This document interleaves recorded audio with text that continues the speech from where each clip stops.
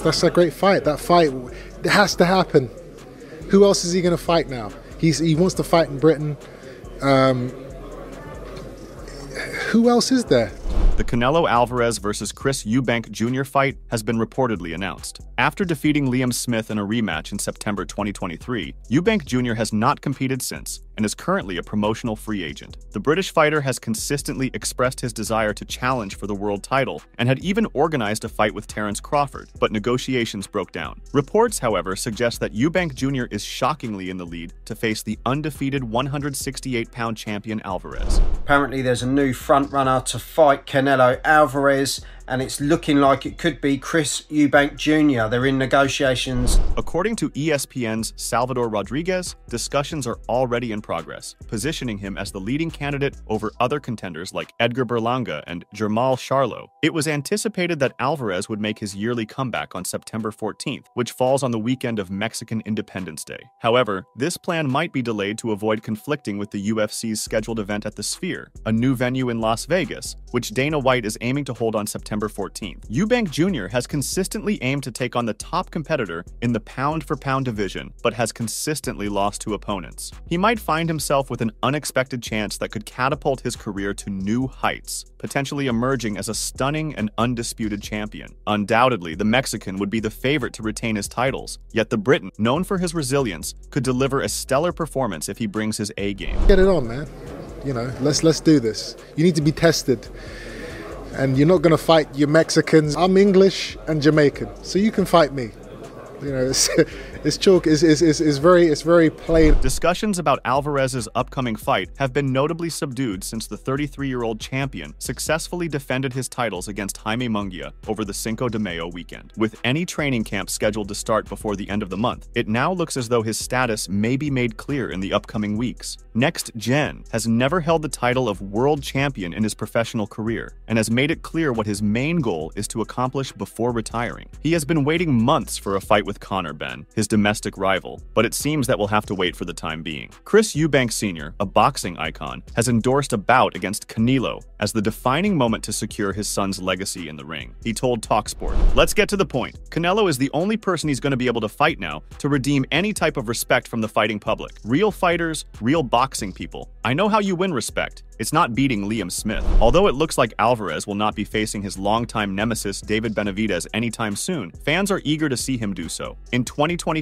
a highly anticipated clash with Crawford might materialize, contingent on his victory over Eubank Jr. Saudi boxing chief Turki Alalshikh has expressed keen interest in hosting this momentous event. However, Eubank Sr. added, Junior, this is what my view is. Your saving grace is going to be Canelo. You're never going to get back down to 160 pounds. I won't allow that that to happen anyway. You're a 168 pounds fighter. Canelo is your way to win respect, and you cannot beat him, not Canelo. The only way you can beat him is if daddy is next to you. That's it. Chris Eubank Jr. stands a strong chance of being selected by Canelo Alvarez for his upcoming September bout, boosted by Dana White's decision to schedule a UFC event on September 14th, coinciding with the Mexican Independence Day weekend. Canelo might opt to delay his next bout for a few weeks to face Eubank Jr. in England this September. This matchup promises to draw a substantial crowd, set against the vibrant backdrop of London, UK. While it may not fill Wembley Stadium, it's expected to sell a significant number of tickets for the arena. Canelo is contemplating facing Edgar Berlanga, his WBA mandatory challenger, as another potential opponent for his next bout. The fight would ideally take place in the US around a significant holiday, possibly September 14th. However, choosing Berlanga may not be the best option for Canelo due to various other factors. Fans are skeptical about 27-year-old Berlanga's readiness for a world title shot, insisting he must defeat a top-tier opponent first to prove himself. Thus far, he hasn't faced such competition. Paulie Malignaggi said, with the combination of the UFC going on Mexican Independence Day weekend, it may push Canelo out of Las Vegas. In that situation, it may push the Berlanga fight away. Although Berlanga doesn't rate the fight, his supporters in New York won't be pleased that he won't be fighting, and Canelo shouldn't have to handle the fallout from picking him. While Canelo focuses on his bout with Eubank Jr., Berlanga's promoter Eddie Hearn could elevate his credibility by pitting him against formidable opponents such as Caleb Plant, Jaime Mungia, David Benavidez, Christian Mbili, or David Morrell Jr. Malignaggi added,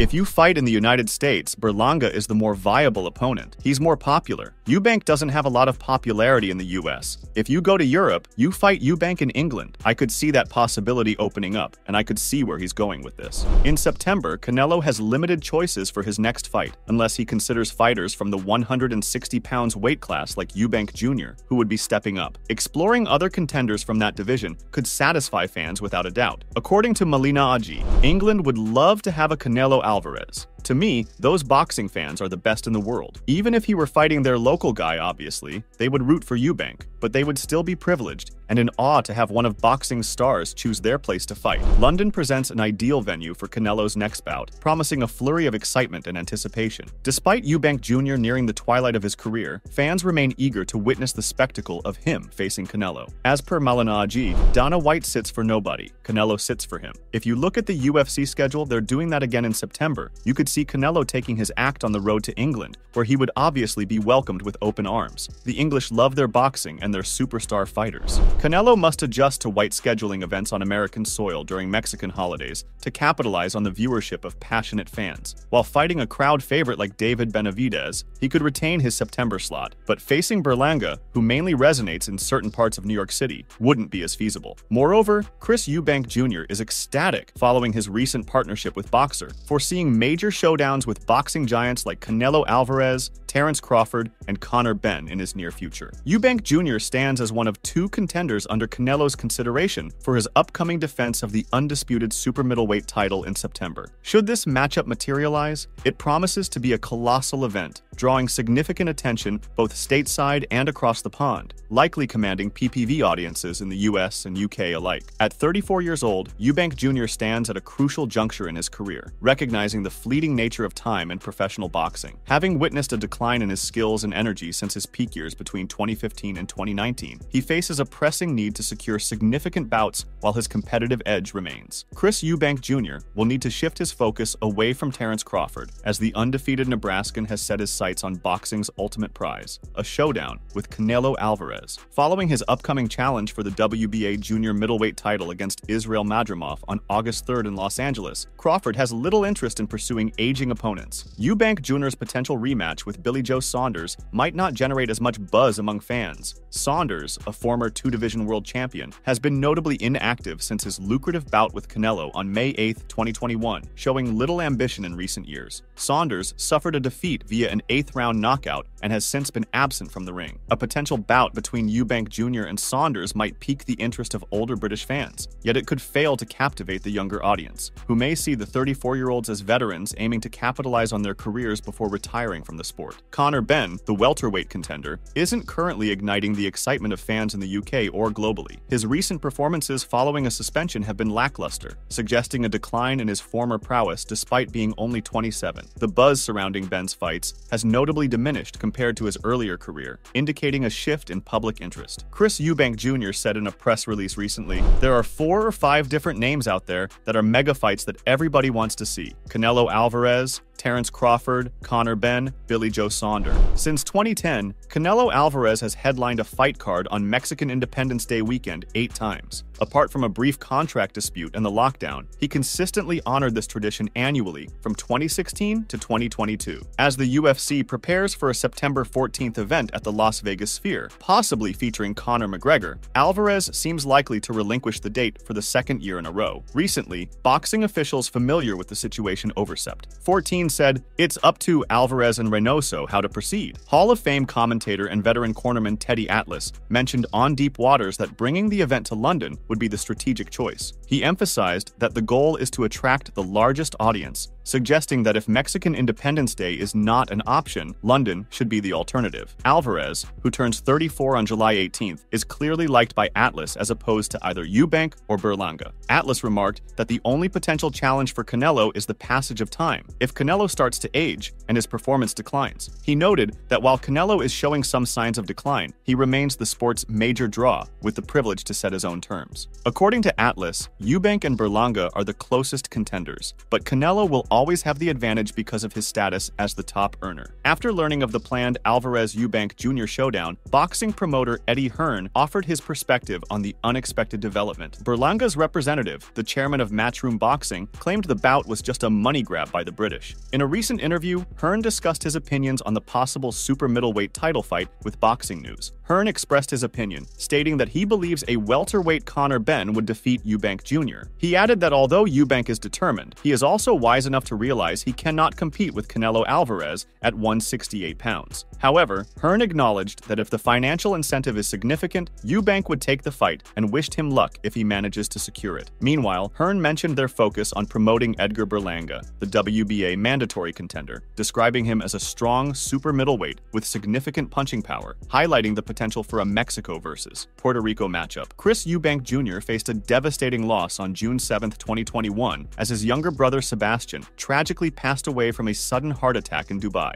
Sky News reported that Sebastian, unaware of his pre existing heart condition, succumbed unexpectedly. In a statement at the time, Next Gen expressed his sorrow and that it was the first time he had sobbed since he was 12. The former interim WBA middleweight champion posted a heartfelt remembrance of his brother Sebastian Eubank on X, on the third anniversary of his tragedy. He wrote, It's a blessing to have things in your life that make you truly happy. Messages from my nephew are some of those special things. His father passed away three years ago today, and Raheem makes the pain of that loss so much easier to deal with. So I thank God for him, and I pray God's watching over my brother until the day we meet again. Meanwhile, Chris Eubank Jr., in Kalle Sauerland's opinion, is a more deserving rival for Saul Canelo Alvarez. After hearing about Alvarez's recent victories, Sauerland from Eubank Jr.'s promoters Wasserman reached out to Alvarez's team to explore the possibility of tempting the Mexican fighter into another bout against a British challenger. Sauerland said, Absolutely, Eubank. If you look at it in terms of a fight, would be a great opponent for Canelo, but I also think it's a commercially very interesting fight for Canelo, because Canelo would unlock the UK market obviously with an opponent like Eubank. Eubank now wishes to make a bold move by taking on Canelo Alvarez, one of the greatest boxers of his generation. He believes that fighting Alvarez would be wise. He said, Canelo goes where the money is, and I can't think of any bigger money fights than me versus Canelo. I know he wants to fight in the UK. It's a huge market. There's not many guys there that people would like to see fight more than me and Canelo Alvarez. With his trademark calculation, Eubank Jr. has his sights set on the undisputed super middleweight title. Despite the tempting potential payday, he acknowledges that securing this fight remains uncertain. He added, It's hard to target him. You can't target Canelo Alvarez. Whenever he wants to come and fight, he'll fight. He'll look at the options and do what he wants. In nearly every every previous rivalry, Eubank regarded himself as the A side. Not against Canelo, though. He added, he does make the rules. He does what he wants. He moves up in weight, he comes down in weight, he holds belts in different divisions, and he does all the things that other fighters could just never do. Alvarez has triumphed over a series of British challengers, ranging from Liam Smith and Amir Khan to Callum Smith and Billy Joe Saunders, and most recently, John Ryder. But Eubank Jr. insisted they call him the Brit Slayer, and people know I'm not going to go down without a fight. I'm not going to get in there and freeze up. With the need to step back up to 168 pounds for another shot at the world title, Eubank Jr. embraces the chance with newfound confidence. He expressed, I'm going to go out there and take it to him. That's what people want to see, and that's the fights he needs to be in. Whether he'll accept a fight like that is to be seen. Naturally, Eubank Jr. has a plethora of other possibilities. Many others will be vying to box him, just as he's calling for a battle with Canelo. He added, I'm in the power position now. Everybody wants a piece now. It's insane how fickle the sport is. But the truest quote of all when it comes to boxing is, You're only good as your last fight. When I just lost, that's what I was as good as a loser. Now I've backed it up. It was like, Eubank's on his way out. He's done. We're never going to hear from him again. And now I'm the no one guy. Meanwhile, it appears that if Canelo faces Eubank Jr. next, it may well be very beneficial for Terence Crawford. In the not too distant future, Saudi boxing chief Chi Turki Alalshikh hopes to host a super fight between Canelo and Crawford in Riyadh. In preparation for his August 3rd fight in Los Angeles against WBA super welterweight champion Israel Madrimov, Bud is training with He Alalshikh. If he emerges from that battle unscathed, a highly anticipated matchup with Canelo might follow. The fight is scheduled to happen in either December or January, according to He Alalshikh. Eubank Jr. is emerging as the leading contender to face Canelo in his upcoming September bout, with Edgar Berlanga also being considered as a viable alternative. Crawford, who trains with Eubank Jr., will be hoping Canelo chooses the former. Seeing talks that they're in talks, and Eubank is the front runner for this fight. Front runner, bro. We could actually get big collars and Canelo Alvarez across the table from each other. And I'll be honest. How I'll be does honest. the go I'll on? be honest. I want it. I want the fight. I want this fight. Prior to his own appointment with the Mexican superstar, Eubank Jr. will be able to provide the American with a wealth of inside information if he wins the fight. Trainer of both guys, Brian Bomac McIntyre, will profit from developing a strategy to take on Canelo twice in a row. Bomac has been Crawford's trainer for his whole professional career. In September of last year, he trained Eubank Jr. in preparation for Crawford's rematch with Liam Smith. Eubank Jr. has frequently switched trainers, having trained with a variety of coaches, including Roy Jones Jr., Ronnie Davies, Adam Booth, and his own father, Chris Eubank. However, his impressive comeback under McIntyre, where he decisively dismantled Smith after a crushing stoppage loss eight months earlier, underscores Bomac's suitability for the role, ensuring he will once again lead for his upcoming bout. Here's where we do what we do, bro. Yeah? And we can't even stay too long uh, for the rest of the pod, but here this year. What did Eubank Sr. say that Junior needs to do to redeem himself in his eyes? Of all the things that was on the table, the Conor Benn fight was floating around. He said, if he fights Canelo Alvarez, he'll have my respect. As contenders like Chris Eubank Jr. bat their eyelashes at Canelo in hopes of securing a September bout, the undisputed super middleweight champion is already looking ahead to a potential super fight next May. Regardless of whether Eubank is chosen over Jermall Charlo or Edgar Berlanga, Canelo Alvarez is focused on his annual Cinco de Mayo fight next year. He aims to face Terence Crawford on Mexico's most significant public holiday. That could disappoint David Benavidez and many fans who were anticipating an exciting Mexican showdown, but there would be immense interest in a matchup between two pound for pound all time greats. Crawford is undoubtedly the standout welterweight of our time, but stepping up to face a fully fledged super middleweight would be a monumental challenge. Known for his natural southpaw stance and incredible precision, his accuracy is unmatched in the boxing world today. He skillfully inches ahead, catching you off guard with rapid, precise strikes. Beginning with a jab, he follows through by sinking a left into the midsection before unleashing a powerful right hook capable of knocking your head clean off. Crawford possesses a rare ability to consistently land three or four punches with maximum power, a feat few can achieve. Unlike many skilled fighters who use the first two shots as setup punches, Crawford delivers each blow with maximum force, distinguishing him from his peers. from 147 to 168 and the win become undisputed wow I want to go up to 68. So, Yeah. so who would you fight at 68? Canelo? if he yeah if he win or Wow. charlo the winner Wow. I wanna- That would be crazy. i want to be three-time undisputed He is a combatant with several facets. It would be fascinating to observe how he handles Canelo's vigor and forcefulness. Canelo isn't known for his speed, but he packs a powerful punch, maintains good balance, and can absorb hits well. He typically overwhelms opponents with his combinations, but facing Crawford will require a different approach. Outboxing isn't likely to work against Crawford, so Canelo will need to adopt a more aggressive strategy, attempting to hunt him down and assert dominance. However, no one has successfully executed this against Crawford yet. Nevertheless, it's a significant victory for Crawford, who has never faced a foe as strong and dangerous as Alvarez. Crawford can, though, if anyone can. The allure lies in witnessing two Hall of Famers in a catchweight bout, reminiscent of fights that were once commonplace a century ago. Truthfully, I couldn't predict with certainty who might emerge victorious, and that's the beauty of it. Terence Crawford seems to have abandoned his pursuit of the undisputed title across three divisions, opting out of what could have been a lucrative showdown against Saul Canelo Alvarez for the 168 pound super middleweight title. Recently, Canelo himself dismissed his name, arguing the weight difference was too significant. Now, Bud has shown reluctance to move up a division, stating he won't force a fight as the mandatory challenger, no matter the circumstances. If Crawford had fought in the 1980s, he likely would have risen through the ranks quickly, much like Tommy Hearns and Sugar Ray Leonard did. He would have defeated all contenders, earning himself a shot against the top Mexican fighters. However, Canelo continues to overlook him, leading Crawford to seemingly lose hope. I don't need to take that fight because everybody's gonna say it's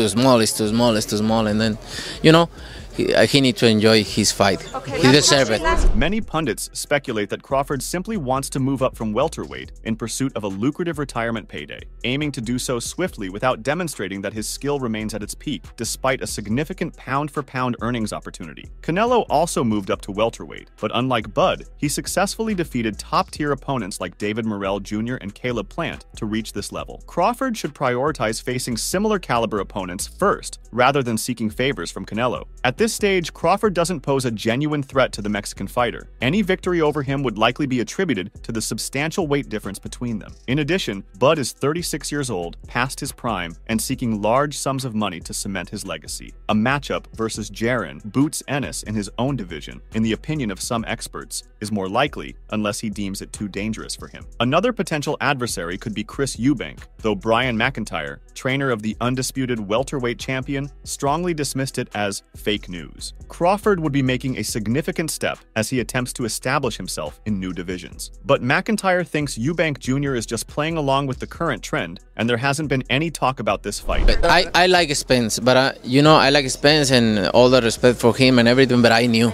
I knew. I think is uh, the the the type of type of fight uh, Terence Crawford is is fighter is is is is, is different. Uh, 168, but uh, like I say, like he say, uh, nobody's gonna give me credit for that. Thank you very much. Make sure to check out some of our other videos on the screen if you enjoyed this one.